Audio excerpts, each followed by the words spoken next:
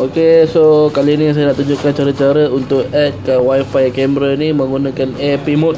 Okay, cara-cara dia, okay, anda akan nampak reset button ni. First kali kau kena reset dulu, tekan lama-lama sampai dia dah habis pusing semua lah. Okay, dah habis pusing semua, tekan dekat reset button ni tiga kali eh. Satu, dua, tiga.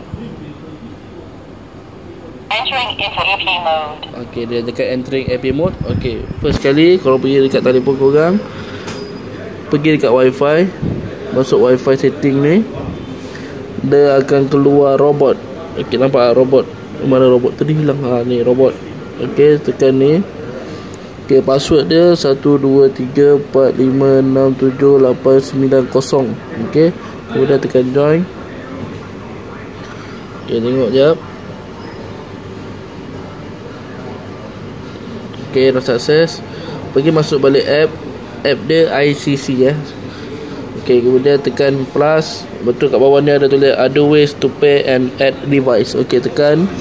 Okey, tekan yang nombor 2 AP connection. Mobile phone directly connect to the device hotspot. Okey, tekan AP connection. Okey, tunggu.